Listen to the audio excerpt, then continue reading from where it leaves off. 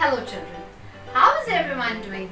I missed you all so much. It's good, it's good to see you all today and uh, I hope you all are staying safe and healthy.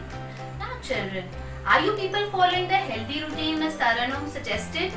I hope you are and eating, I, I hope you are following and eating healthy fruits. So, which season it is? Which fruits are there in the season? it's mangoes! Wow, I love mangoes. They your favorite too? Come on, today let's write a paragraph about mango is the king of fruits because it is.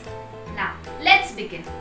Have you all, are you all ready with your exercise books and your pencil and eraser? Good. Now come on. Write the title. Mango is the king of fruit. On the heading line. Good. With the capital letter. Have you all written the date? Oh, lovely. Now, let's begin. In the beginning of the paragraph, you can write, I've written the first and second sentence for you. Mango is the national fruit of Pakistan. It's called the king of fruits because of its taste and health benefits. Because it's very healthy and nutritious, right? So, just write it down. Okay? Then, then we go on our next sentence. After these two, third sentence will be the shape and color. How, what does the mango look like? It's oval in shape. Its color is green, yellow, orange and sometimes it's even red in color, right? So let's describe how our mango, how does the mango look? Then, how does it smell? You know when it is put in the fridge, whenever we open the fridge, ooh, that sweet and delicious smell of mangoes, it's so appetizing, right? So write it down. How sweet and delicious it smells. Then, how does it taste? Sometimes it's very sweet and sometimes it's a bit sour, right? Okay, then write it down. And how do you like it? Do you like the sweet mangoes more or the sweet and sour more? That also write down. Texture. What is the texture of the mango when we eat? It's juicy and it's pulpy, right? Mmm, that's yummy, isn't it?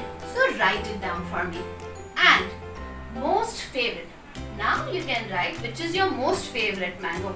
Anwar Ratol, Chonsa or Sindri. My favorite is Anwar Ratol and I eat it with bread. I eat bread and mango together because I really like it that way. How do you like your mango? Which is your favorite mango and how do you like to eat it? Some people I know like to eat it with rice as well. Do you enjoy it with rice? Just write it down for me. Dessert. Which is your favorite mango dessert? I have written milkshake and ice cream. I have written milkshake and ice cream. Which are your favorite mango desserts? Which one does your mum make? Or which one do you enjoy from the market?